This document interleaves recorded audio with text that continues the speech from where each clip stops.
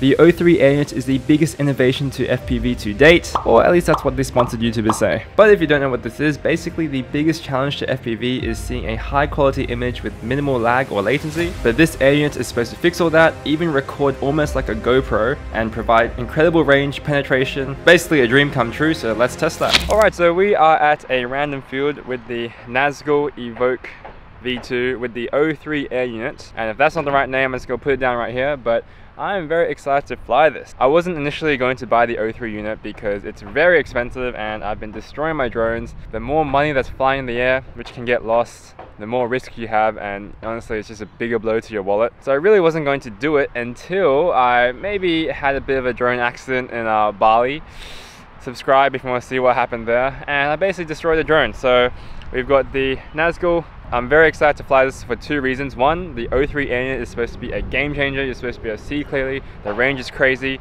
And number two, the Nazgul Evoque is supposedly the best drone on the market. Like there's so many people saying best drone ever, most hyped, blah blah blah. So this will be my first impressions of the O3 unit and this new drone. Additionally, I'll be using the V2 goggles, which I think a lot of people will be interested in.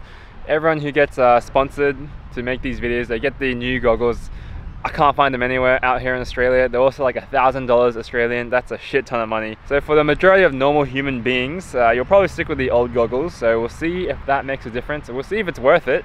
And yeah, a lot to unpack. Let's get this thing flying. I am excited.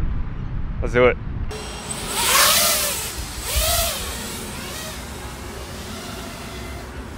Wow. Oh my god, it is so clear.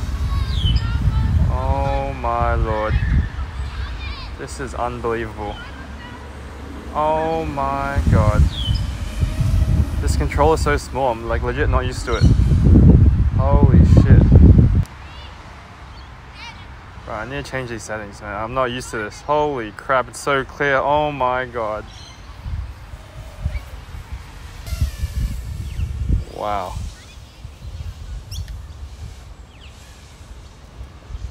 Oh, these gimbals are really tight too. I'm not used to this at all.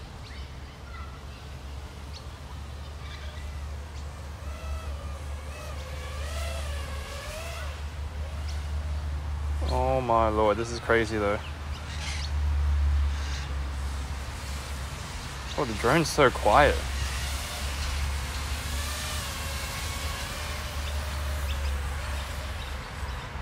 Oh my god, this drone flies like butter as well. Let's try and do a dive or something. Make sure no one's here. Why does it sound so quiet? Alright, let's try and split this. No prop wash, oh my god. The Evoque is legit. Everyone, the Evoque is legit. This is absolutely nuts.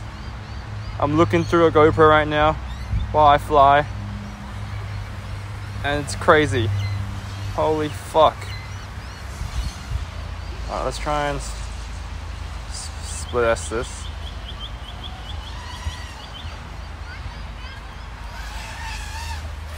Oh my god, I nearly crashed. Nice. Great, absolutely great.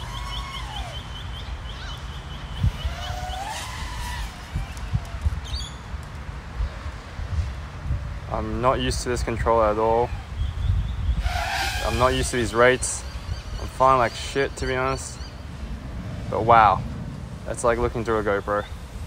Alright, so while I fly, these are some of my first impressions. I didn't do much talking because I was concentrating very hard flying the FPV controller too, which I busted my ass to try and get because they're out of stock everywhere in Australia. But the image, even on the V2 goggles, is very, very impressive and extremely noticeable. It honestly looks incredible. It's also absolutely insane the image you get from this. This is easily good enough for freestyle and you can genuinely use this on social media because they compress your image so much, this can definitely pass. It's a bit of a shame that you have to film 16 by 9 to get the best image, which is 4 4K 60. So if I was to use a GoPro on top, I would film 4x3, but that would be in 2.7K. Just a heads up, there's a border and some glare because I tried to mount an ND filter extremely strangely onto the O3 Air unit, but I kind of fixed that a little bit later on. Alright, so we just flew our first pack and some quick first impressions. My god, the O3 Air units in the V2 goggles, not even the brand new goggles, looks so good. It's definitely better than the old Vistas even in the V2 goggles, which is very, very impressive. If it even looks even better, in the new goggles, that's gonna be crazy. But wow,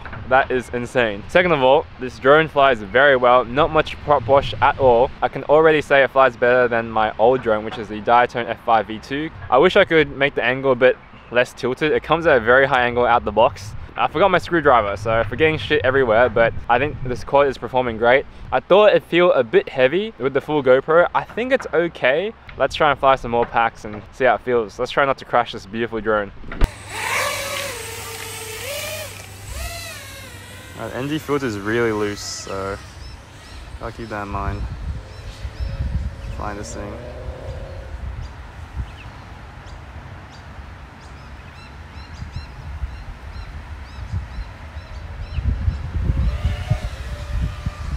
My god, man, this thing flies amazing. A little bit prop wash, but that's to be expected. Minimal prop wash, I feel like it's really locked in. I'm not sure if I prefer this compared to other drones I've flown, but now that I've tuned everything in a little bit more, it's nice, man. Prop wash is super minimal too. I actually feel like I'm flying this a lot better now. Wow, I just cannot believe it's a Avata. I'm basically flying an Avata right now on a sick FPV quad. Like, that kind of explains why it was so bad in the past, but you see everything and it is unbelievable. Wow. Wow, wow, wow. Sky's a bit overexposed. That's a bit of a problem with the Avata. Dynamic range kind of trash, but it's alright. Like if I flew freestyle, I would more than happy to fly this. These gimbals are a lot tighter than what I'm used to, so there's that. Not very fluid to say the least. I didn't think they were going to be serious when they said, oh, you don't need action camera, but now I'm actually starting to believe it. It's crazy. This is actually nonsense. Let's see if I can thread through these trees. I can legit see every branch. It's crazy. Oh my god. Go gap here.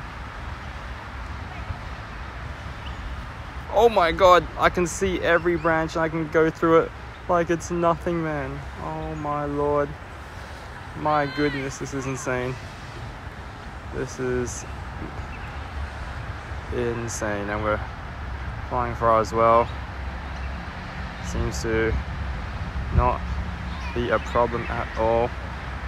Alright, so just some final takeaways. Is it worth getting the O3 Air unit if you already have the V2 goggles? I think absolutely. The video looks a lot better and the penetration range is great. The only negative is the increased price, but I think it is worth it at the end of the day. I am a little bit hesitant putting on my quad because again, more money, more loss, but I'll probably just send this. Some other quick points of upgrading to this O3 system. I'm using the DJI FPV Remote 2. I'm taking a little bit of time to adjust. I'm not very smooth with the sticks because it's a smaller controller, but it's so much more convenient and and I love that. In regards to penetration range, this does an amazing job. I flew and tested a bit further with a bunch of trees, no line of sight, and it worked amazing. Also, I really wasn't sold on the O3 unit being an action camera, but it really is an Avata, and it can definitely do it. It's almost a bit sad putting a GoPro on it because I feel like I'm wasting such good video footage just to get a little bit more out of my GoPro, but I probably will end up doing that anyway. So that's basically it. I think it is truly a game changer. Subscribe and we'll capture some amazing footage with this drone, and stay tuned for a full review of the Nazgul Evoque V2, which has done so good so far.